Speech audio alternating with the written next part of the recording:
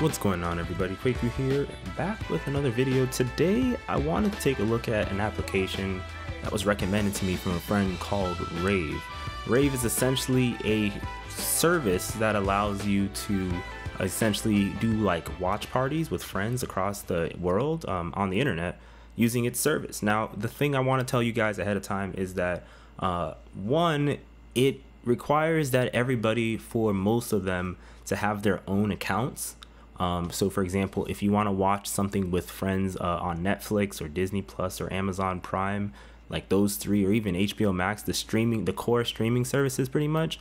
Um, if your friend is living out of the country and the video you guys want to see is only available in your country, it will not work for them. Uh, it, they they will have to either use a VPN and switch over into the country that it's available in or whatever but it's not simply that you can share any video to anybody. You guys all need to have your own access to that content, um, whatever way possible on that service specifically that you're using, like say Disney Plus. So let's say the example is you're trying to watch Thor. If you're trying to watch Thor and Thor is not available in your country, um, but it's available in your friend's country, the friend that wants to watch Thor together with you, it will not work for you, but they will be watching Thor essentially by themselves, chatting with you in the chat that I'll show you in a little bit. So it's an interesting application here. Now another thing here is this is the main screen here of Rave. So you see public rooms. They have public and private rooms.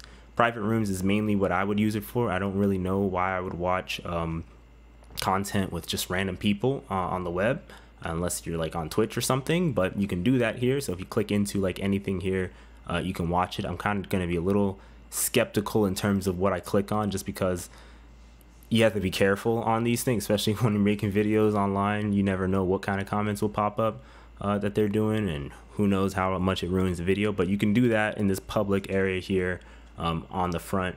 Next thing is you click this button, you drop down some settings, it brings down the menu. So it's not exactly settings. I don't know why they wrote that. They should just said menu, um, maybe just written it up here, and then it drops down this menu here. So this is their social saving stuff and what you can buy, the version, what type of Windows I'm using. This does support uh, iOS, Mac OS, uh, obviously Windows, and it supports um, Android as well.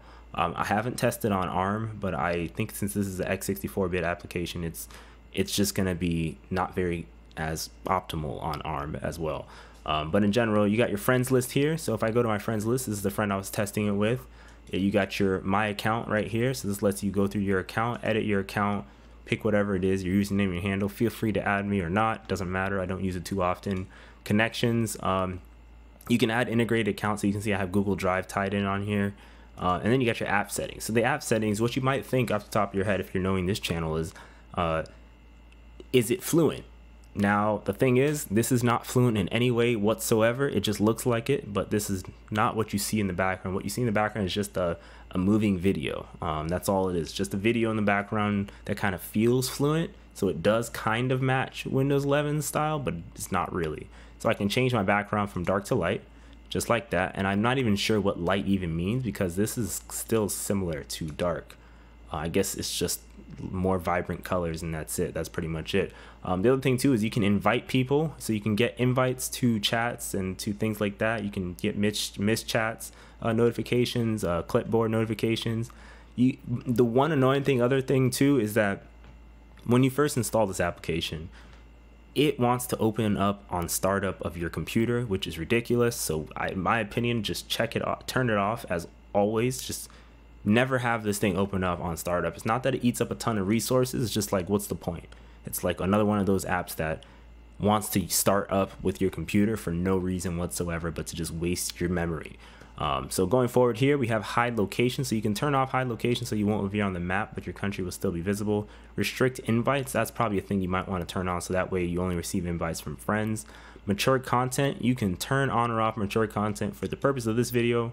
Turn off, turn on uh, hide mature content because again, YouTube. Uh, then you got your audio. So you can see here, um, another cool feature with this application is uh, you can chat with your friends um, live so you can either text chat or you can voice chat. So this is how you can uh, pick whatever it is, your speaker, your microphone, and so on. I'm not going to touch it because I'm recording on the same computer that I'm using this application on. Don't want it to cut the recording, but that's what you can do with that Uh, so now let's just go back to, uh, I guess let's just go back to, oh, messed up. Give me one second. There we go. Now let's just go back to, uh, I guess go to raves, just like that. So you're back on the home screen here. And then the next thing is let's pick a service. Let's say we're going on YouTube.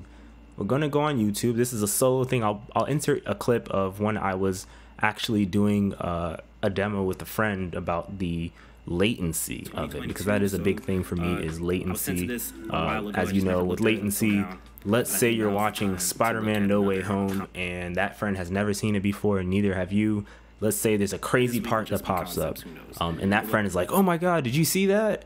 You know it's gonna take about a second is what i discovered uh, for that other friend to see the same thing. So it's that kind of latency on there, like half a second roughly to see the same thing. But overall, you got, you know, you sign into YouTube if you need to. You don't need to. Uh, I did with my other account. So you sign into YouTube, you can pick anything here. So let's say I want to pick, this is just the YouTube website. This is nothing special. Um, let's say I just want to pick uh, Carbot animations for Elden Ring, right? I want to hit play on it. And then this is the video player here. It says now playing. Uh, you got some options here, so let me actually uh, pause this.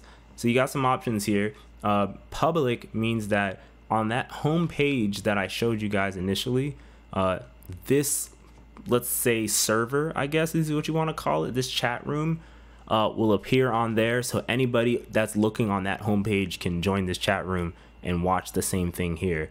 Um, you got another thing here. You got library here. Um, you can see that thing just moved away. So now it automatically made it like that. I definitely don't want to do that. Um, the other thing too is uh, you had different options here. You got nearby, so only nearby users can join. Friends, only friends can join. So I'm gonna do friends, so friends only can join this. Um, so you see it automatically tells you and it tells you what time that everything was changed and this and that. It's pretty decent in my opinion. Going up here though, you got your settings for the server stuff. So it says blur non-friend media. So therefore, this is what will happen. The, the problem that I was going to tell you guys is what if someone randomly joins, right? Um, how can you make sure that, let's say, you don't want to see what they're posting? You can just check this off and it blurs media from friends that, from people sharing uh, things that aren't in your friends list. So that way you are much better off. Uh, everybody can voice chat. If you click this button, you can click you can pick what you want to do for the voice chat options. I'm going to turn on, turn off voice chat. Playback version, playback modes. Um, so the idea is, let's say you have 30 people inside your chat room, even just two or three, whatever it is. Uh, you can make it so that way you guys can vote on uh, the next piece of content, and that will be a tab that I show you in a second, which is over here. Uh, just play, which means videos play after a single vote. So if one person clicks it, it'll just play. Uh, autoplay, videos play automatically and then there is only leader only the leader can select video so it's like it's just me in here so it's just going to be like that. You got your preferences here too. Again it's the same thing that you saw before there and then you got audio which is the same thing you saw before. You got search here which is just another view of seeing the same thing here. In the middle of when you open this up it looks like this this only resizes it for you. This doesn't resize it for your friend or whoever it is you're watching it with. It's only for you. Um, so let's say I want to switch into Netflix. I'm going to go into Netflix. I've already signed into my Netflix account. Uh, I'm going to go into my Netflix and I want to watch Ozarks, you know, on this thing. You might notice I have not finished Carbot Animation's uh, Erdtree avatar, right? So what I'm going to do is I'm going to say this is going to be the next video, uh, season one, episode one, Sugarwood. Uh, and then the only way that this can play uh, this next video can play is if I get to the end of the Carbot video and then the next video ozarks sugarwood episode one season one will play just like that. So that's kind of how it works. Um, i have some things to say about this um, when i was testing it and it was annoying but i'll get to that a little bit. So that is essentially the search slash vote option. When you search for something and you punch it in it jumps you into the vote option in which case you get it here and then you have other modes here, scenic mode, uh, which looks like it just chooses whether or not chat appears or not. You got your invite mode, which allows you to send invites to people, so I can send invites to my friend. You got the map, so the map just shows you different places around the world of people using Rave, and uh, you can see. Let's see if it even works. I haven't actually looked at this too much, so let me see how long it's gonna take for it to load in. Doesn't seem to be doing anything. Yeah, it doesn't look like this Earth is even like re-rendering for when I zoom in or anything like that. So I'm not sure exactly with that. Um, but in general, you got different controls and different things like that to control your content and media. Speaking of controlling your content and media, let me exit out of this here. So what you can do here is you got your play button. You obviously got what you're watching. You got your scrub timeline here. You got your full screen button, which I'm not going to do. Uh, you got your, uh, what is this called? Your resolution that you can do. Uh, and then you got your translation. So you can actually translate just like that. Uh, closed captioning. You can favorite this content and then you can skip to the next content right there. So there you go. Let's say I want to watch uh, my dripping my dripping sleep. Uh, you can skip straight to that and just like that you'll skip straight to it when it loads in finally so you can see i'm now on episode three don't want to spoil ozarks for any of you guys netflix chill out uh, so in general it is an interesting application but i do have some things to say about this application um, I just wish that in order to make it easier to use, I understand the voting option and everything like that, but I feel like if I went into settings and said leader's choice, for example, uh, to pick the next video, right? If I click that and that's the playback option, what I expect is that if I hit search and I say I want to go to YouTube, right? And I want to play a video from YouTube, let's say Angry Joe's thing, and I hit this, right? Is it going to click? There you go. So, and I hit this.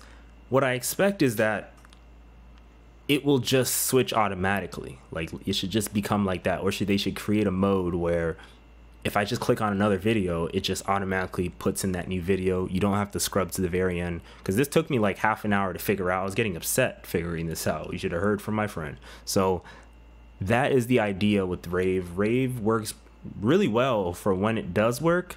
Um, it's similar to Amazon's Watch Party. It's similar to Netflix's version of Watch Party. Um, Disney Plus's version of Watch Party, right, where you need everyone needs to have an account already to use it. Uh, but you have just an integrated interface to do it all. You don't have to jump in and out of different applications because essentially these what I feel like these are are just web apps of the website that they're just letting you use like Google Drive you're just on Google Drive's website netflix.com disneyplus.com these are just those things HBO Max and so on to use this so yeah, that's about it uh, for this video. Let me know what you guys think in the comment section below about Rave. Have you used it? Do you have any suggestions that are like Rave but maybe work better, maybe look better? I don't know. We'll see. Uh, let me know in the comment section below. I'd love to take a look at it. My name is Kwaku, and as always, you can follow me on Twitter, Next Windows. And uh, yeah, that's about it. Take care, everybody.